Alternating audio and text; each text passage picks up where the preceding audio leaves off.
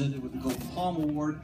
And now we have Laura Dern, who is presenting to Reese Witherspoon. Ms. Dern, come and join me.